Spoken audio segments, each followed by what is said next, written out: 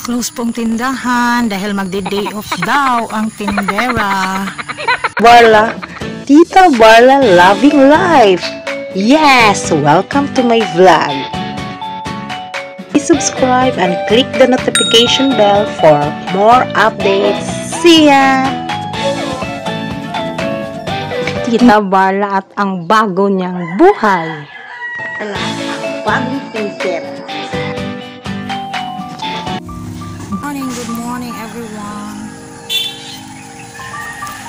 Kaya magdi-day off ang tindera. Okay na, aalis na ako. Yan ang sasakyan namin, ang taxicol, tricycle.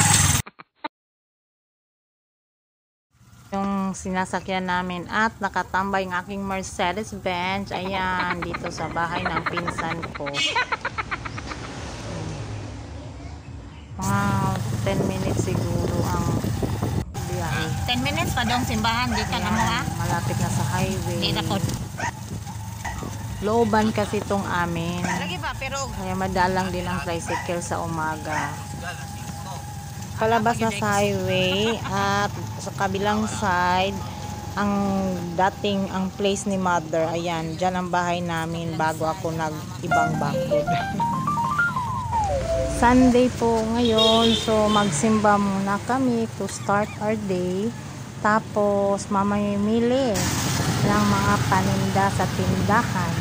At ito na yung pinaka day off ko. So mamili lang half day na day off. Kasi pag tapos na yung nagsimba hindi na ako magmamadali pa kakain saglit. Tapos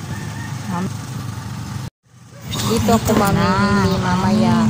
Tapos nang magsimba open na yan so yan si grocery store at si simbahan isang kanto lang ang pagitan nila so ito lalakbayin ko to mamaya pag after ng magsamba plaza namin yan, ang katapat ay ang simbahan na.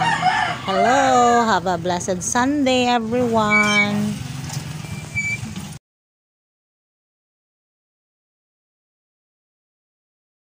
Pagkatapos na nagsamba, eh, nag-usap kami kung saan kami mag Nag-usap kami kung saan kami kakain. Tapos paglabas, nakita na singko. Singko na lang, oy. kami itong keeping ato kasaba something. So ayan napabili kami. Dinokjok pa namin yung tindero na tag 5 pesos na lang. Kasi nga tag 10 eh. Ayan bumibili kami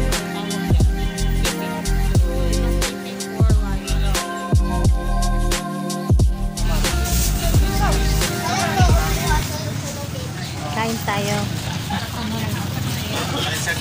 Isulod og silopen.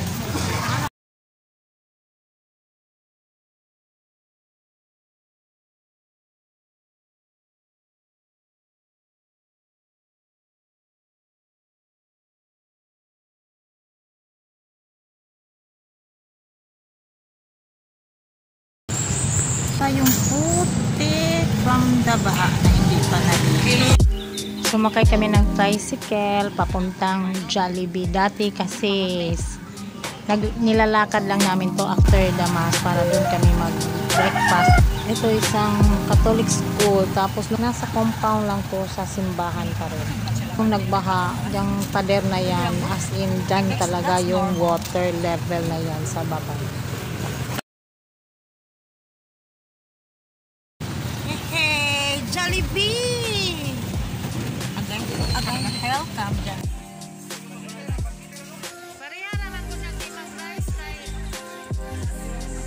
Nasa pila ko ng priority lane dahil kay senior kaya dahil nagdadala ako ng dalawang card ng senior. Ito na yung aking mga barya from the tindahan. Ayan, binibilang ko yan, 600 yan, yan ang pambayad ko. Ito yung unang tindahan na pinuntahan ko. Ito yung iced tea. Iced tea ako nag-start. Tapos pa siplang-siplang lang yung pagbibidyo ko kasi bawal nga yan, kumuha din ako yung 24-7 kasi Dutch meal, dalawa lang, malaki. Ang uh, just yan, Ricky juices na benta ko 10 pesos each. Nag-try din ako ng frozen items na pack kasi ang yung sa akin is naka isa-isa tubig na maliit. Ni ang gamay. Ayan. Ikot-ikot lang muna tayo dahil hindi pwedeng kasi bawal, bawal na gamot. Welcome to Sardinas area. Ano bang atin dito?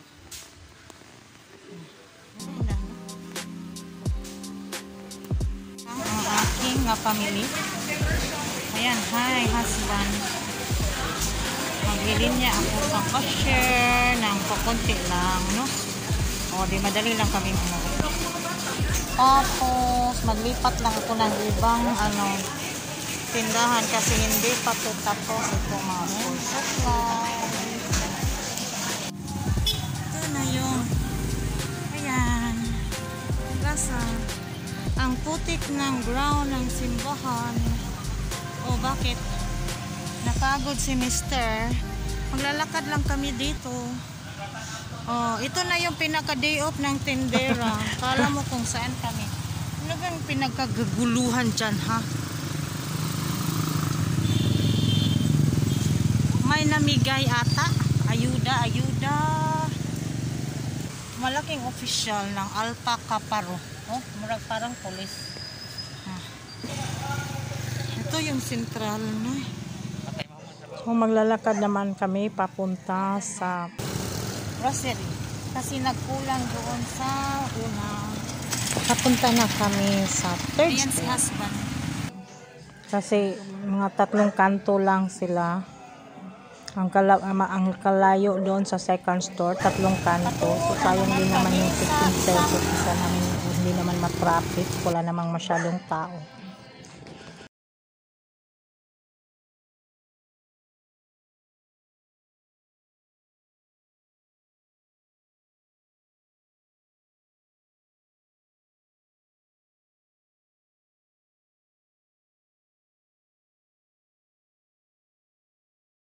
Dito naman ako sa pangatlong store dahil nagkulang yung aking school Mga supplies. school supplies ko. Shopping. Bawal si, sa loob ang camera, so patayin ko. Going to, iba na naman yung, lalakad lang kami. Kaya nga ako mapapagod kasi naglalakad lang to the next. San ba? To the next tindahan. Pangatlong tindahan. Oh, yung mga putik pala. Putik na naman. Tumigas na. Pag maulan na naman to, maputik na naman to dito sa, nandito na to sa sidewalk. Ito na yung banda na tagalieg yung tubig dati. Ayan. Papunta na tayo sa market. Ayan, ayan si HGT. Yan ang pangalawang grocery store na pupuntahan ko. Yan. Bawal din ang picture kaya s- pa nakaw-nakaw lang ako mag-video sa loob ha. Kung anong nandun. So ito yung tindahan na matagal nagbukas after nagbaha. Nabayaran ko dito is 975 pesos. Eh, ito papakita ko na lang kung anong napamili ko kasi baka hindi ako makapag-haul. Napapagod na ako. So, ayan, nakita ko na lang yan sa mesa dahil matagal ang karton na bagger. Din ako dito ng daing, dito sa sasakyan na to kasi mas mura sila compare sa loob ng merkado. Bumili lang ako ng iilan na parang 80 pesos lang para 6 pares. Kasi dal tag dalawa-dalawa yun. So, 12 pieces lang, 80 pesos. Pang-anim na stop na, ito yung kay Sikwa na nagalit sa akin dati. Oh, madami siyang mga housewares. Ayaw niya pa akong papasok, hindi ko naman alam. So, dito, kahit mga cartolina na, yan. Siya lang kasi ang may magandang cartolina dito.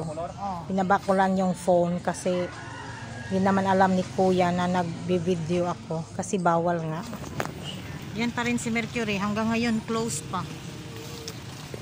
Nagantay daw sa, ano saan eh? Insurance, no?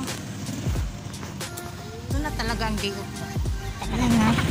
Nasa merkado na talaga ako. Nasa public market na ako. Dito na naman ako sa bigasan ng bayan. Ayan, sa bigas na naman ako. Hindi yan. Sabi ko nga, day off ako. Kaya ako napaupo. Sabi ko kay ate, ate, maupo nga ako saglit at bibidjuan-bidjuan ko yung tindahan mo. Ayan, bumili ako ng isang sakong bigas at isang sakong asin.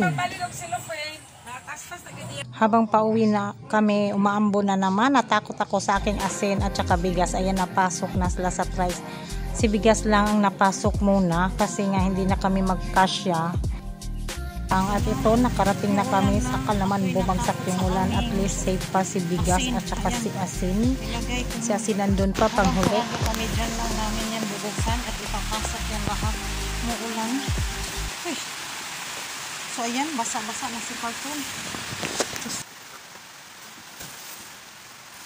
Ayan, ang malaking cartoon.